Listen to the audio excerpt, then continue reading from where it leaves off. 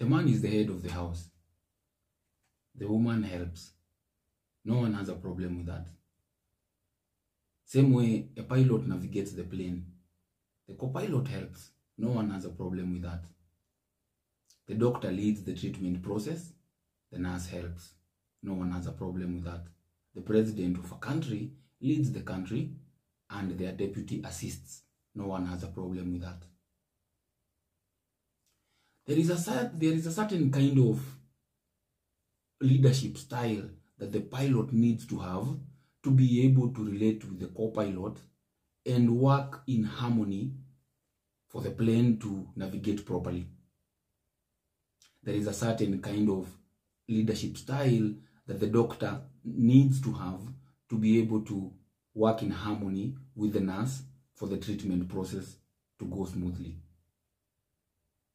There is a certain kind of leadership style that the president needs to have with the deputy so that the operations are smooth and the country moves smoothly.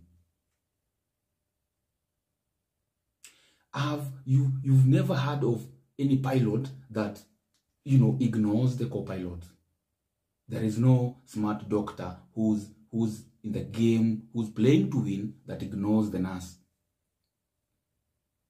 There is no sane president who operates without consultation of their deputy unless unless they are operating headed to failure.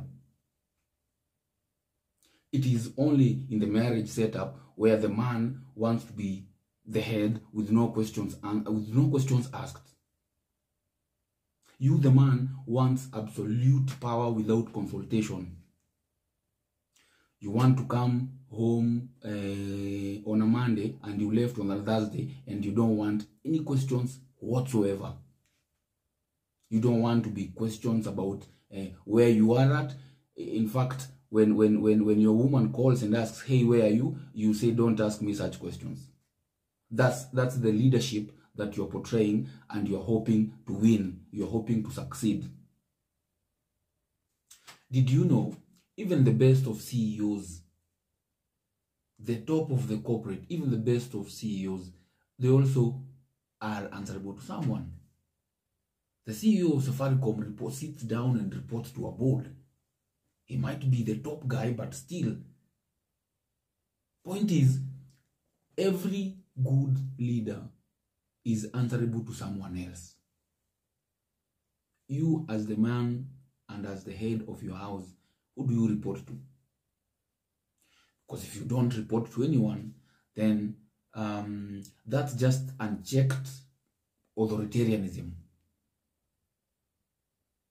And in this generation, do you think there is any woman who will stay with you? Do you think you're playing that game to win?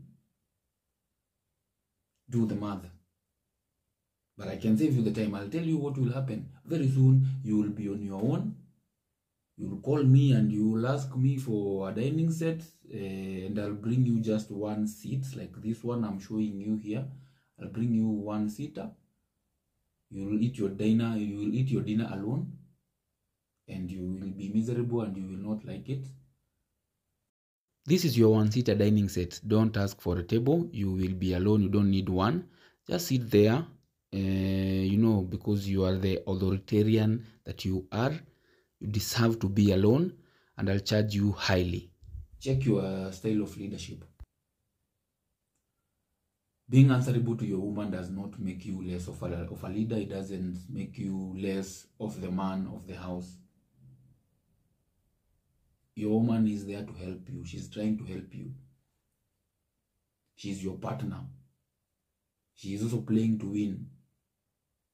You guys will work together you will grow all together. Million frames will still be there working for you making very nice dining sets so that you can eat together.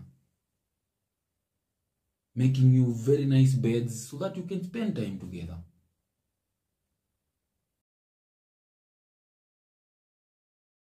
Very nice dining sets you know for men who work with their women as their partners. You know they have children you know that's a six seater very nice four seaters you know? And we make good deals for you right? Even beds nice beds we make for you at very affordable rates all right? If you even have kids you have twins we have solutions for you right? Different designs right?